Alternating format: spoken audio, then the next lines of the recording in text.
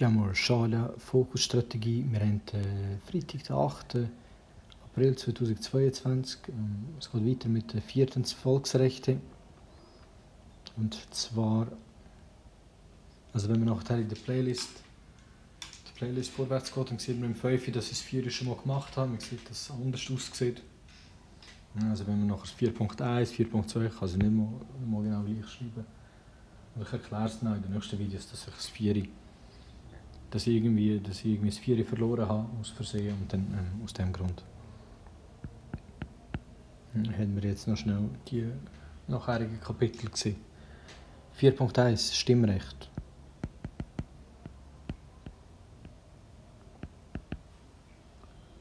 Artikel 55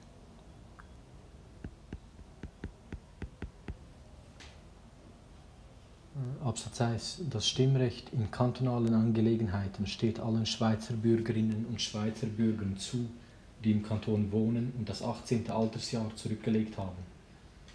Absatz 2. Das Gesetz regelt das Stimmrecht der Auslandschweizerinnen und Auslandschweizer sowie den Ausschluss vom Stimmrecht wegen Unmündigkeit und Urteilsunfähigkeit. 4.2 Wahlen Artikel 56 Absatz 1 Das Volk wählt a. den Großen Rat b. den Regierungsrat c. die bernischen Mitglieder des Nationalrates d. die bernischen Mitglieder des Ständerates Absatz 2 Die bernischen Mitglieder des Ständerates werden gleichzeitig mit dem Nationalrat und für dieselbe Amtsdauer gewählt es gilt das Mehrheitswahlverfahren. Außerordentliche Gesamterneuerung.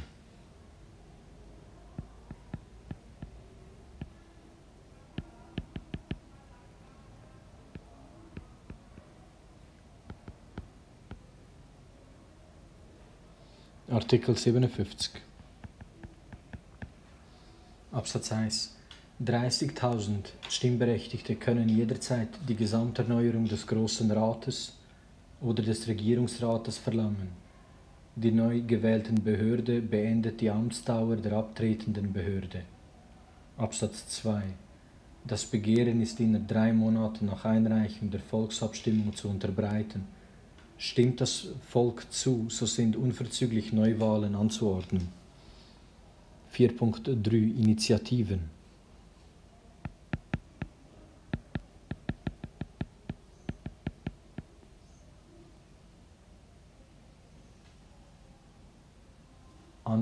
Anwendungsbereich Artikel 58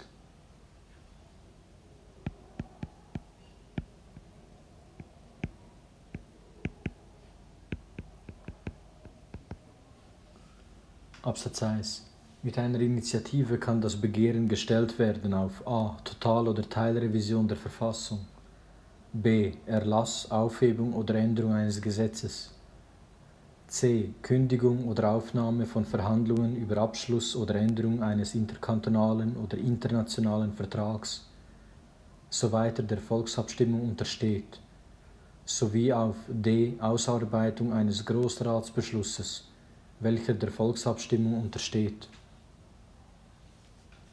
Absatz 2. Eine Initiative ist, nein, eine Initiative ist zustande gekommen, wenn innerhalb sechs Monaten 15.000 Stimmberechtigte das Begehren unterzeichnen. Für das Begehren und Totalrevision der Verfassung sind 30.000 Unterschriften notwendig. Absatz 3. Eine Initiative kann die Form der, ein, äh, der einfachen Anregung oder, sofern sie nicht die Totalrevision der Verfassung oder die Ausarbeitung eines Großratsbeschlusses verlangt, die Form des ausgearbeiteten Entwurfs aufweisen. Verfahren Artikel 59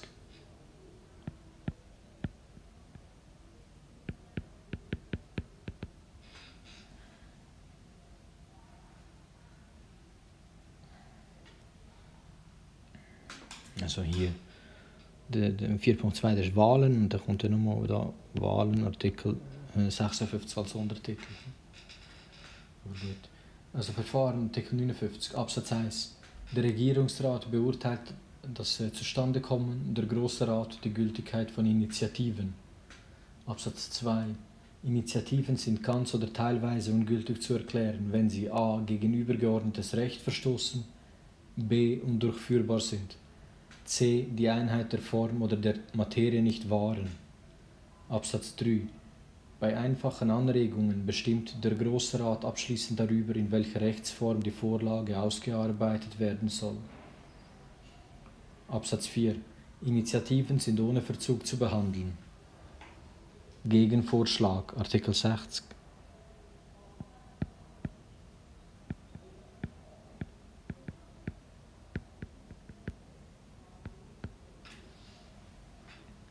Absatz 1. Der Große Rat kann sowohl einer ausformulierten Initiative wie auch einer Vorlage, die er aufgrund einer Initiative in der Form der einfachen Anregung ausformuliert hat, einen Gegenvorschlag gegenüberstellen. Absatz 2. Die Abstimmung über die Initiative und den Gegenvorschlag findet gleichzeitig statt. Die Stimmberechtigten können gültig beide, beiden Vorlagen zustimmen und darüber befinden, welcher sie im Falle der Annahme beider Vorlagen den Vorzug geben würden. 4.4 Volksabstimmungen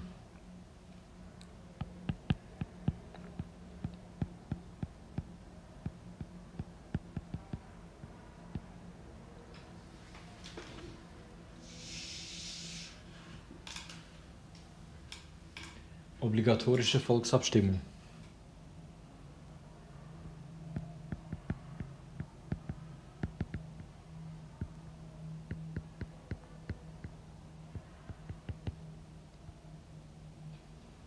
Artikel 61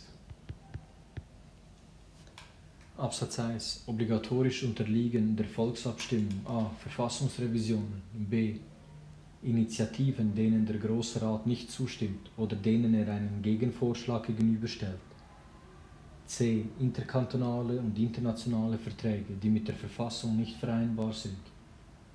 d. Änderungen des Kantonsgebietes, ausgenommen Grenzkorrekturen. Absatz 2 Vorlagen, die der fakultativen Volksabstimmung unterliegen, werden der obligatorischen Volksabstimmung unterstellt, wenn 100 Mitglieder des Großen Rates es verlangen. Fakultative Volksabstimmung Artikel 62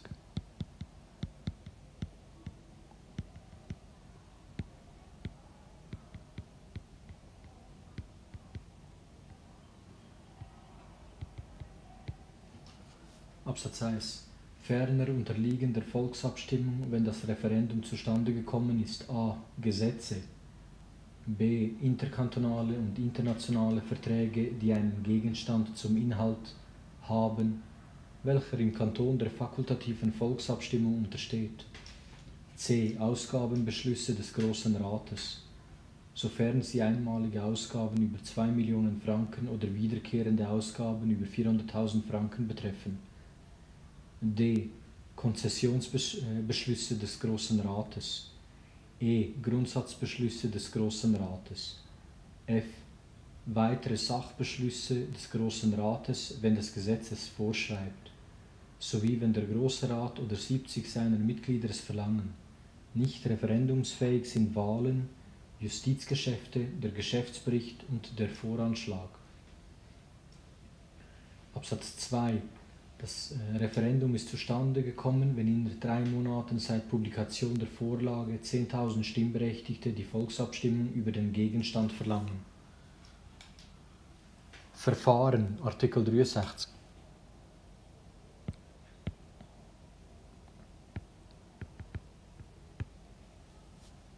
Absatz 1 Eine Abstimmungsvorlage ist angenommen, wenn sie die Mehrheit der im Kanton gültig abgegebenen Stimmen erhalten hat. Absatz 2. Der Große Rat kann in einer Vorlage, die der Volksabstimmung untersteht, einen Eventualantrag stellen. Findet die Volksabstimmung statt, so ist neben der Hauptvorlage auch der Eventualantrag den Stimmberechtigten zu unterbreiten. Findet keine Volksabstimmung statt, so fällt der Eventualantrag dahin. Absatz 3. Stellt der Große Rat keinen Eventualantrag, können 10.000 Stimmberechtigte innerhalb drei Monaten seit Publikation eines Gesetzes oder eines Grundsatzbeschlusses einen Volksvorschlag einreichen. Dieser gilt als Referendum. Absatz 4. Bei Eventualanträgen und Volksvorschlägen findet das gleiche Abstimmungsverfahren wie bei einem Gegenvorschlag zu einer Initiative Anwendung. 4.5 Mitwirkung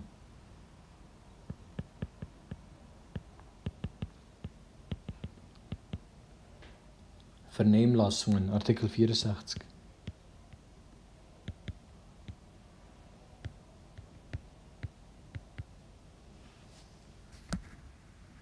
Absatz 1 Das Recht, im Rahmen von Vernehmlassungen zu Verfassungs- und Gesetzesentwürfen sowie zu weiteren Vorhaben von allgemeiner Tragweite Stellung zu nehmen, steht allen offen. Absatz 2 Die Stellungnahmen sind öffentlich zugänglich. Politische Parteien Artikel 65